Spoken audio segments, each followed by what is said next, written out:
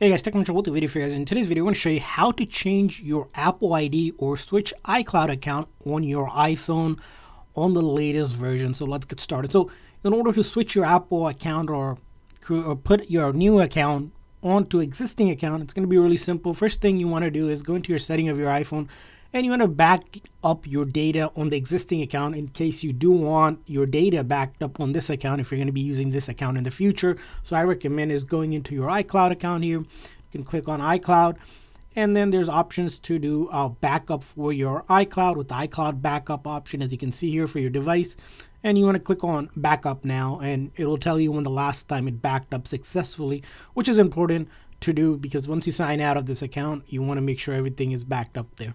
So or you can always uh, use your computer to back up on the new finder app or the itunes app if you have a pc or computer which you can uh, learn about it on another video. But after you're good that you're backed up and you can sign out of this account it's going to be really simple on your apple id here right in the setting. You're going to click over here and go all the way down here where it says sign out. So let's do that one more time icloud account all the way down here. There's a sign out option. So you click on sign out and then you need to enter the existing Apple ID password here in order to be able to turn off uh, or remove this account so you can sign into a new one. So I'm going to go enter the Apple ID password of this account here. So I've entered the Apple ID password for this account and then I'll click on turn off at the top corner here. Wait till it processes the option. Now, if you want to keep data copy of any of this information, you can select it on, but then click on sign out and then click on sign out one more time. And as you can see here now, it's signing me out of this account on this phone. And now as you can see here, if I go back here on this phone here, you can close out the app and then open it up again. And this time I should be able to sign into a new account or switch to another account that I like or you can create another account for free by simply click on sign in. And as you can see here a couple ways you can do it. You can manually sign in with your existing email or phone number and verify your identity.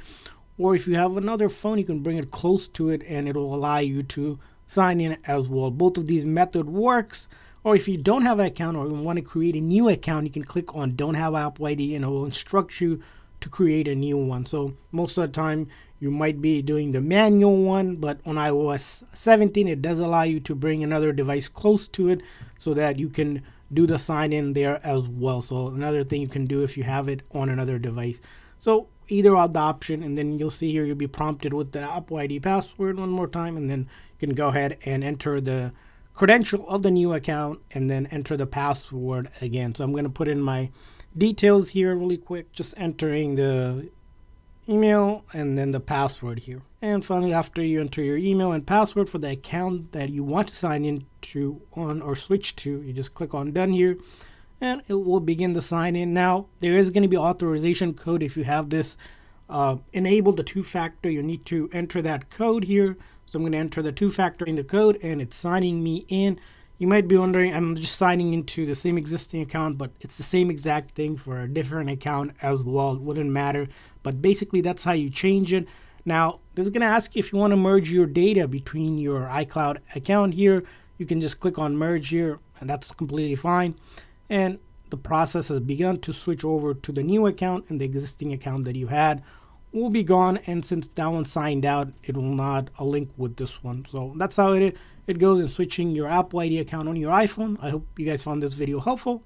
If so please make sure to like and subscribe button. Thanks for watching guys. See you guys uh, next time